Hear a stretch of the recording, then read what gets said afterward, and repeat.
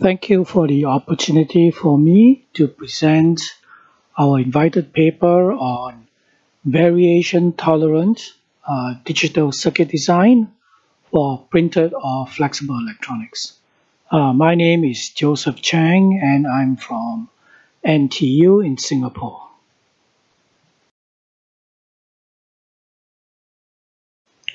The problem that we are trying to address today is about variations.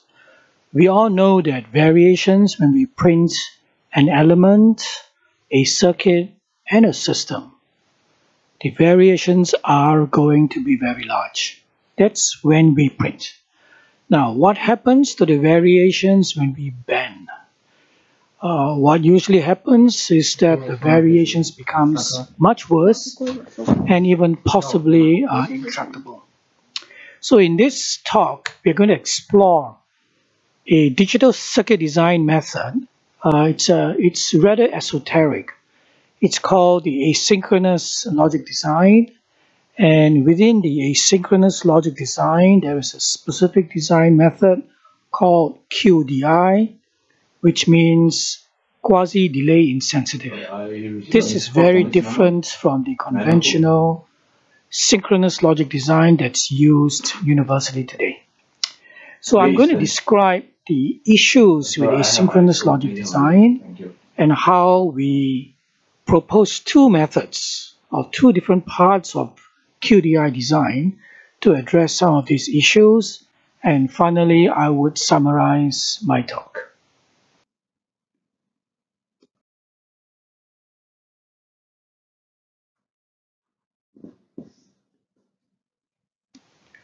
There are numerous uh, printing methods and we won't go into them, but suffice to say that the variations of elements such as capacitors, resistors, inductors, and TFTs, the variations are very high.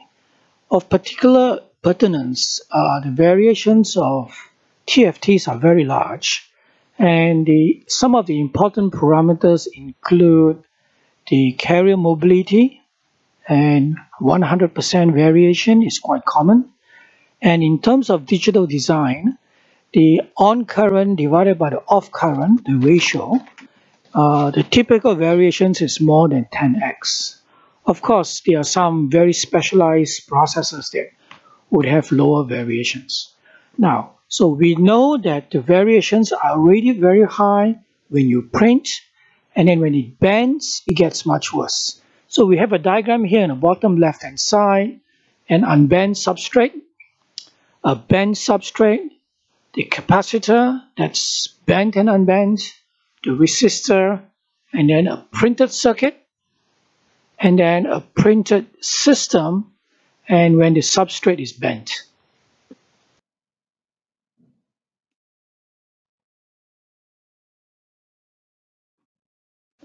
So let's now just look at the variations of printed elements.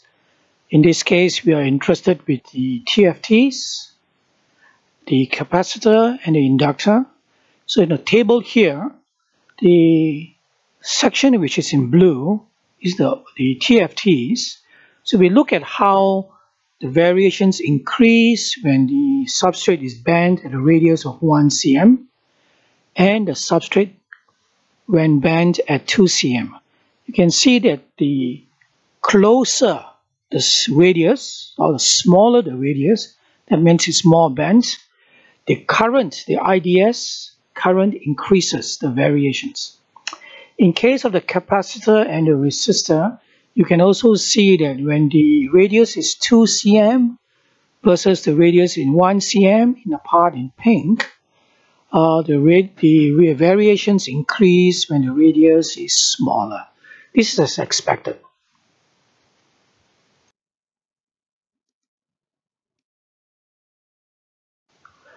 Now, let's look at TFTs. This is more of uh, interest in digital circuit design. So we have a substrate on the top left-hand corner, which is, which is unbent, and a substrate which is bent.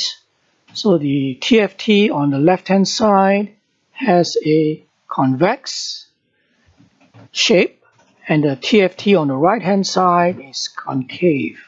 So if you look at the slot at the plot which is at the bottom, when we plot the input output characteristics, you can see that when it's concave, you get a curve that's sharper, and then when it's flat, it's less sharp, and when it's convex, it's even lesser sharp.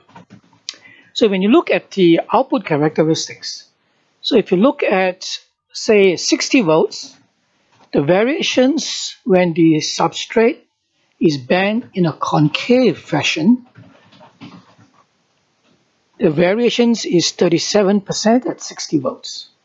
And it gets worse at lower voltage.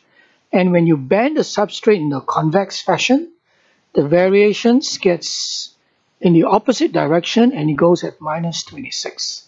So the net variation in this at 1 cm is 37 plus 26 from concave to convex and that accounts to 63%. And that's a lot. And remember that this is in addition to the variations of printing.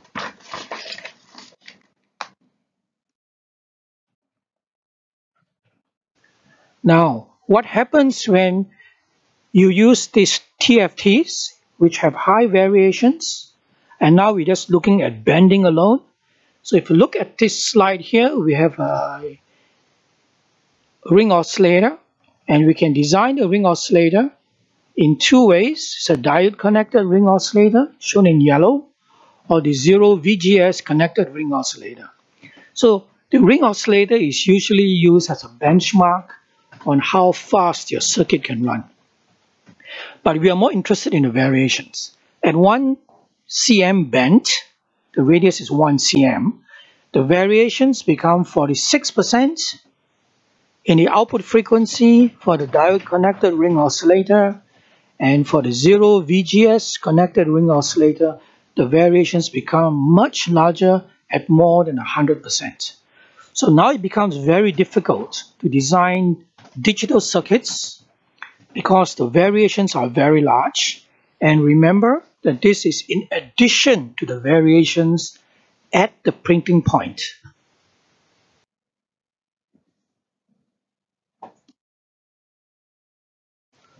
Another way to look at how the circuit behave for a ring oscillator is to look at the time domain waveform and look at the oscillation. So we have in here uh, two plots. On the left hand side, the radius is 1 cm, and on the right hand side, the radius of the bending of the substrate is 2 cm. So we have the output voltage on the y-axis and the time on the x-axis. So the black curve shows the clocking frequency when the substrate is flat. Now, when you bend the substrate in a concave fashion, the oscillating frequency increases, which is good. When you bend in a concave fashion, the oscillating frequency decreases. So what we are showing here is between the red line, red plot, the black plot, and the, and the blue dotted plot is that the variations of the clocking frequency becomes very large in terms of variations. So you can see that now it is very difficult to design a circuit where the variations are very large. And we'll explain this in the context of, of the signal uh, protocols for conventional circuit design for digital circuits. Also note that if the variations are very large, uh, quite in some cases, the circuits become non-functional.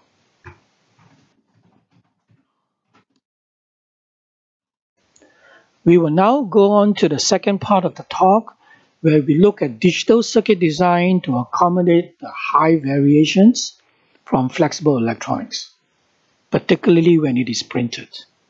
We present in here two fundamental digital design paradigms. On the top of the slide is the conventional single rail synchronous logic that's used everywhere today versus the somewhat esoteric dual rail asynchronous logic and shown at the bottom here. In the synchronous logic design for data computation, flip-flops FF1 and FF2 are data registers timed by a global clock shown as CLK here.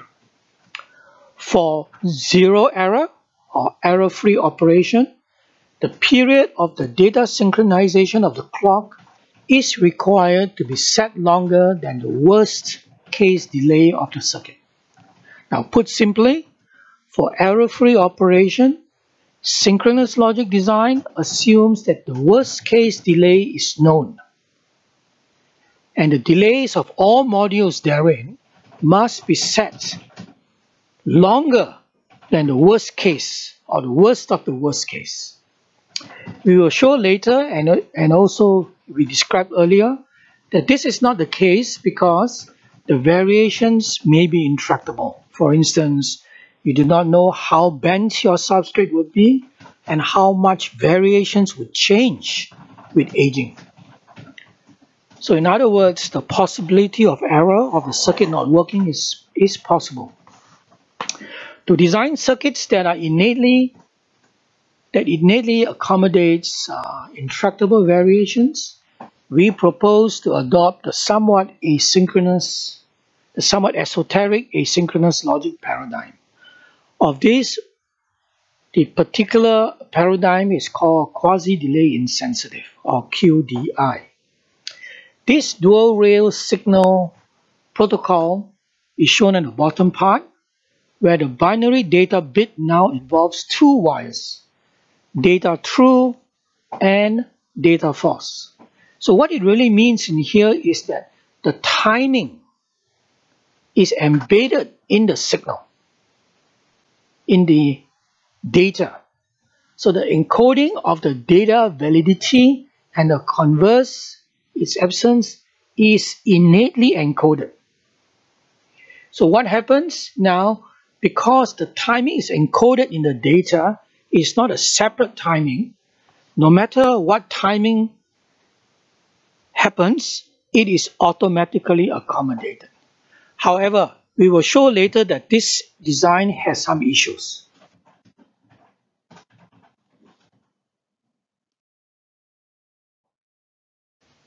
So the issues regarding synchronous and asynchronous, whether it's printed electronics or it's conventional CMOS, it's usually uh, qualified in terms of speed, uh, for flexible electronics, delay uncertainty, and then the delay variations and the IC area or the printed area.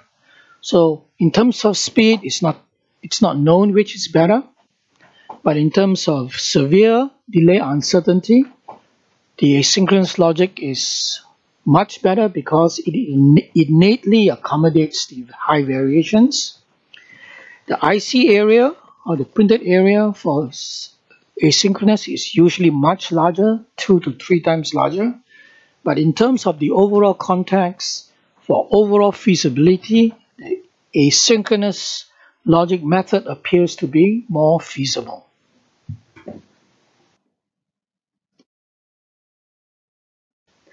Before we get into the details of our design for the asynchronous QDI, in particular to accommodate the large IC area or printed area, if you look back on conventional CMOS, the severe delay uncertainty and delay variations over time, it is in fact very similar to very deep or ultra deep subthreshold circuits.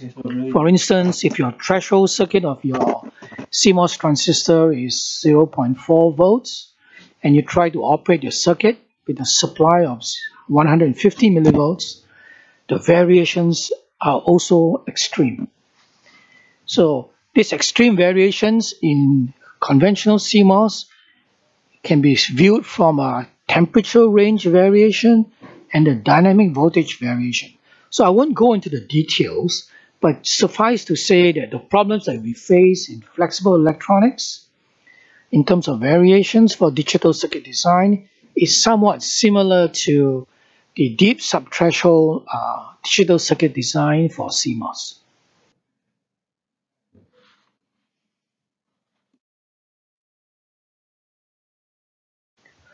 Again, before we go into the details of, a, of our design methodology, our proposed design methodology, so let's look at a simple uh, system and RFID tag. So uh, the RFID tag is well known. So if you look at the design here, what we propose to do is to replace the code generator with an asynchronous approach. So the problem here is that we normally expect the timing to be quite consistent, but because we are going to print the transistors, the variations can be very large. And the printed part would be the coil, the, the transmitting and receiving coil, the capacitors, and of course the TFTs and our code generator.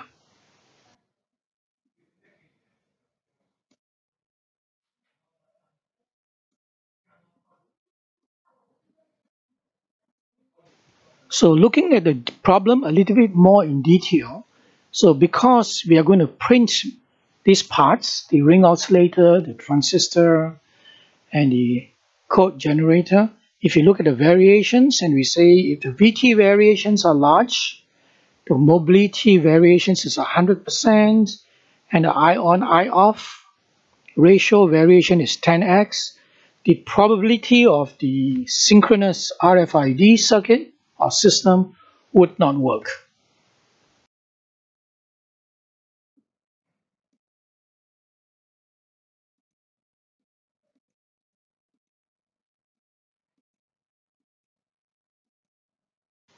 So what we propose to do is to replace the parts shown here in red on the right hand side of the RFID. Instead of using synchronous logic, we propose to use asynchronous logic particularly QDI. And in this case, because the timing is embedded or encoded innately in the data, so whatever timing we have, it's automatically encoded. That means any variations would be accommodated.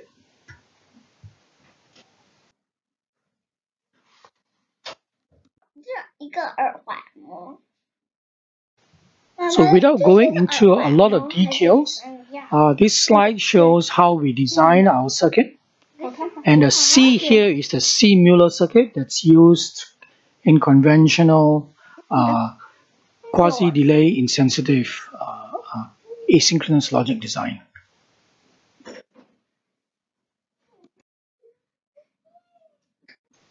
So to show how we realize our the code generator in asynchronous logic QDI. Here are a couple of uh, pictures to show our printed circuits.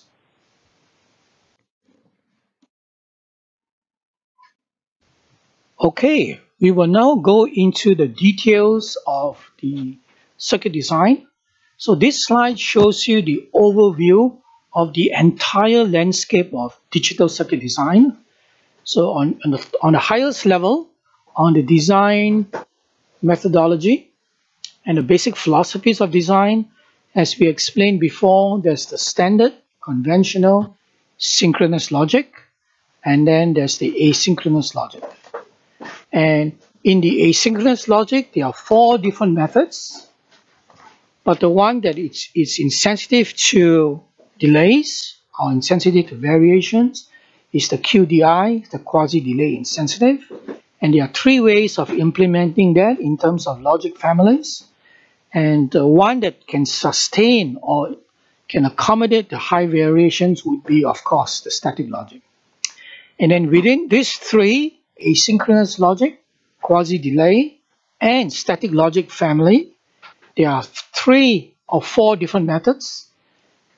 So they are the QDI realization approaches, and what we, what we propose is the pre-charged static logic design.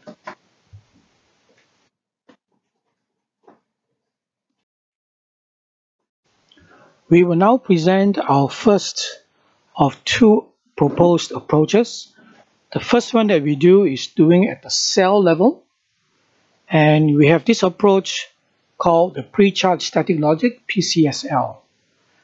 So the basic architecture is shown on the top enclosed in red dotted lines. The basic architecture comprises an, an inverting static logic cell, three transistors, and two inverters. The three transistors are for output, pre-charge during reset, phase evaluation during the computation phase, and the two inverters are for output buffering. The outputs are QT, that's output true, and QF, that's output false. In PCL cells, when the request is zero, both outputs are zero. On the other hand, when request is 1, which indicates that an operation is ready and the input signals are valid, the operation commences and the ensuing output is obtained.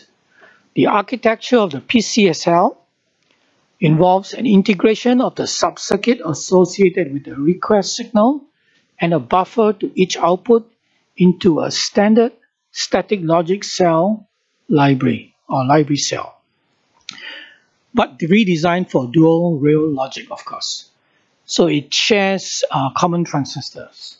This reduces the number of transistors, resulting in simultaneous lower power energy dissipation, faster speed, and smaller area. Now, here we also show uh, on this slide schematic of six PCSL cells. And of particular interest, look at the slide, look at the cell which is on the middle left-hand side, the N NAND uh, cell.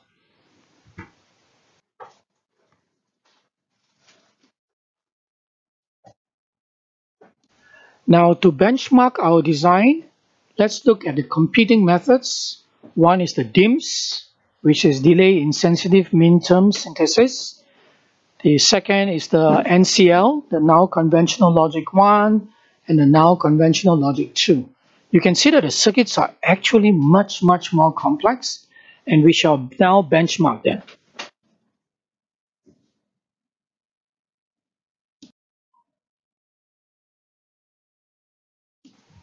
Now, look at the problem that we are trying to address.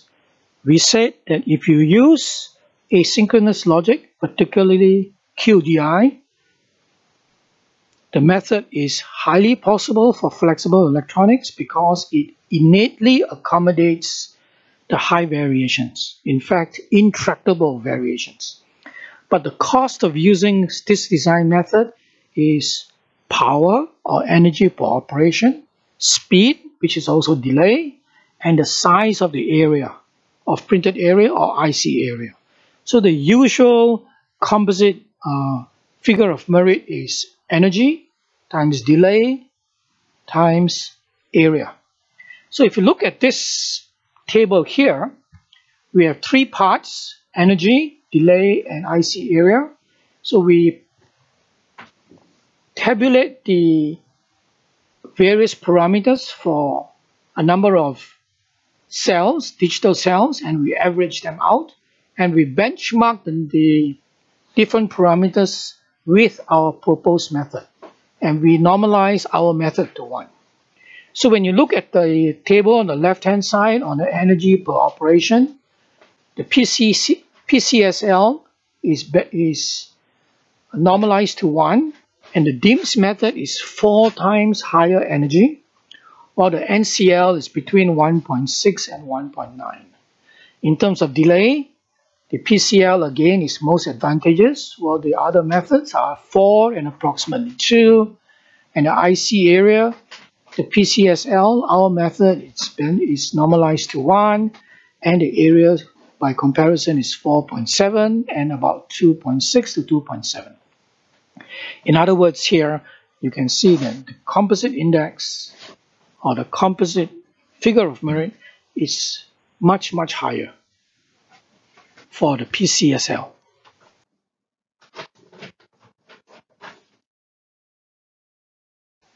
Okay, we come to the second part of our approach for asynchronous QDI design, particularly to propose the method to reduce the hardware. That's also in terms of area, power, and speed in a higher level circuit design in terms of its uh, pipeline. So we, we propose an alternative QDI approach and we call this the pseudo QDI and yet retain the robustness of QDI. The approach comprises a simplified asynchronous four-phase pipeline structure with our proposed PCSL, dual rail logic cells, which we described earlier. The salient feature between our proposed pseudo QDI pipeline and the standard QDI pipeline, which we call the true QDI, is the removal of the data completion detection, the DCD, while preserving the latch completion detection, the LCD. Here we depict the true QDI. So to preserve its delay insensitive attribute, except for the fundamental isochronic fork assumption, the QDI pipeline requires to address the issues of input completeness and gate orphan. We adopt the NCLX pipeline because it requires a much smaller area and its realization of the data path is simpler. So in this slide, the adopted asynchronous QDI comprises a QDI handshake and a QDI data bus. the QDI handshake, which is the I plus one, and this is shown here for illustration. So without going to too many details, it is well established that the area and energy overheads of the DCD is large, particularly if the complexity of the functional circuits in the QDI data path is high. Nevertheless, the delay overhead of the DCD is largely insignificant because the DCD executes in parallel with the functional uh, circuits.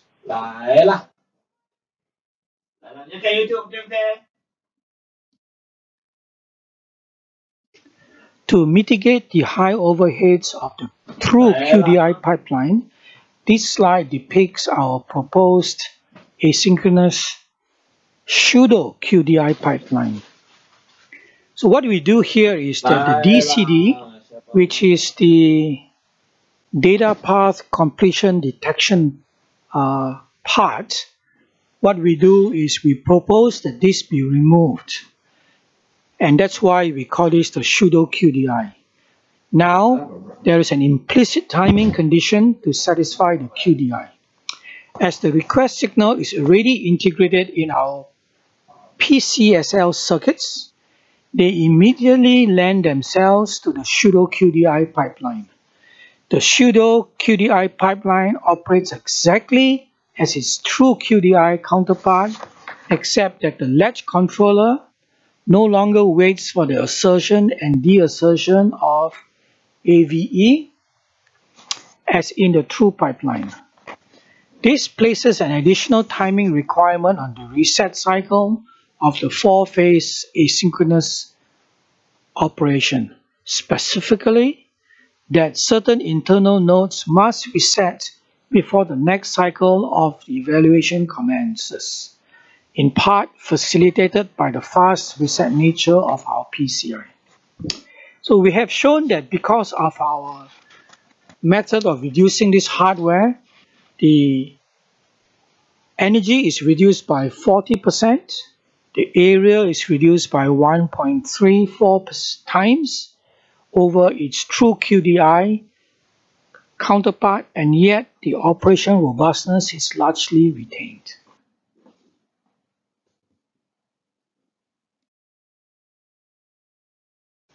Now to end my talk, uh, I will now summarize what we have presented. First, we know that the variations of printed elements, printed circuits, and printed systems would be very large. That is at the point of printing. Now when you bend the substrate, the print, the variations become even larger and possibly intractable. So there's also the effect of aging. So in other words, variations for flexible electronics, if you are printing the devices, it's a real problem. It's a real challenge.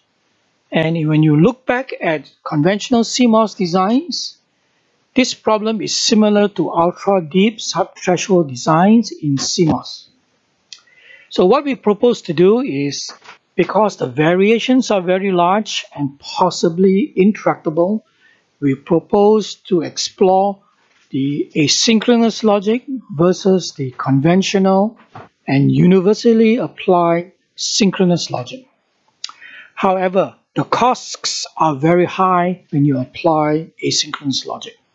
To, circum to circumvent the problems with the high costs, we propose the pre-charged static logic at the cell level design, and we exploit this pre-charged static logic and modify the QDI uh, pipeline protocol, timing protocols, and we call it the pseudo QDI. So the overall area, power, and speed overheads become very significantly smaller. Thank you.